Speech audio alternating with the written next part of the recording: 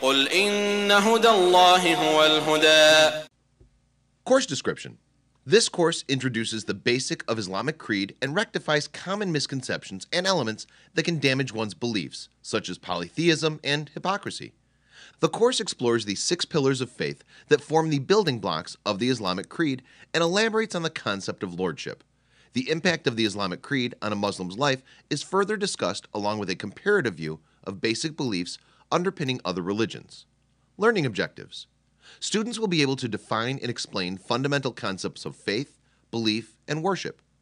Students will explain the principles of Islamic creed, its relevance in their lives, and the importance of studying it. Students will articulate the five pillars of Islam and why the testimony of faith is the first and central belief. Students will describe each of the six articles of faith. Students will be able to explain the concept of divine will and decree, and more. Grading and evaluation. Minimum passing grade 70%. Weekly assignments 30%. 10 assignments, 3% each. Attendance 10%. Midterm exam 10%. Final exam 10%.